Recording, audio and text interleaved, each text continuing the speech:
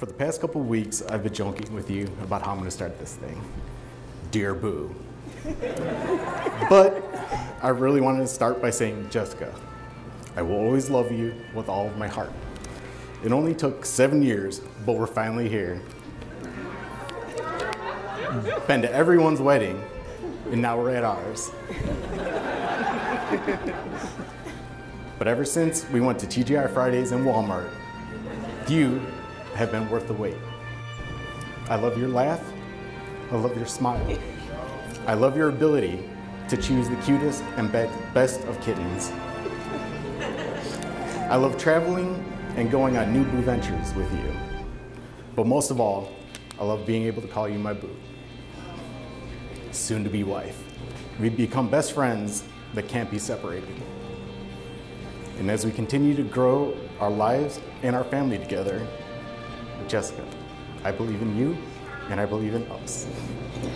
Matt, from the day we met to our first date and all the way up to this very moment, being with you has been easy. I don't mean that we don't fight or have our differences. When I say easy, I'm talking about the way you make me feel.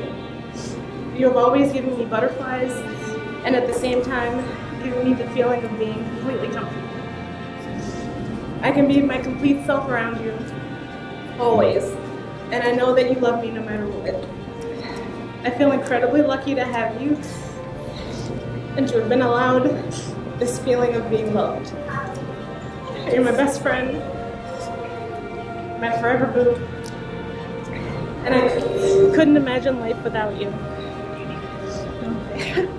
I've always had so much respect for marriage. To me, it's not just a piece of paper, the next step, or something you do after it's been a while. It's committing your whole life and your whole self to something bigger than just you.